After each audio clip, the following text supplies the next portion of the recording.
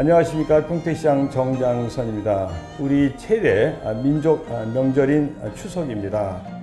특히 올해는 너무 좋은 것은 그동안 사회적 거리 제한이 있었습니다만 올해 추석만큼은 모든 것이 다 해제되었습니다. 그래서 모든 가족이 다 모일 수 있게 되었습니다. 이게 얼마만인지 모르겠습니다.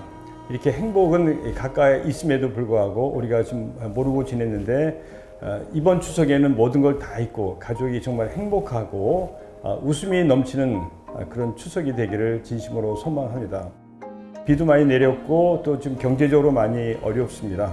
아, 그렇지만 우리가 이번 추석을 정말 가족끼리 화목하게 또 이웃 친지들과 행복하게 보내신다면 그리고 우리가 다시 활기를 찾을 수 있다면 이런 경제적 어려움이나 또 사회적 갈라짐도 없어지고 하나가 될 것으로 이렇게 소망합니다. 즐거운 추석 행복하시고 우리 또 추석이 끝나고 나면 우리 멋지게 출발하십시다. 다시 한번 그동안 응원해 주신 시민 여러분께 감사드립니다. 행복하시기 바랍니다.